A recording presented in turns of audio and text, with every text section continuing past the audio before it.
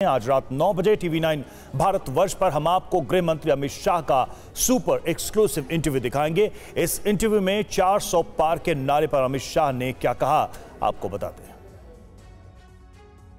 Sir छह चरण के चुनाव हो चुके हैं। आपकी पार्टी 400 पार का नारा लगा रही है। बार बार ये कहा जा रहा है वो लक्ष्य है। कैसे देखते हैं अब आप इसको? देखिए छठे चरण का आकलन में ढंग से हमारी कैडर से पूछ नहीं पाया हूँ। परंतु पाँच चरण में हम सरकार बनाने की प्रक्रिया पूरी कर चुके हैं। भारतीय जनता पार्टी और एनडीए पाँच चरण में 310 को पार कर चुके हैं।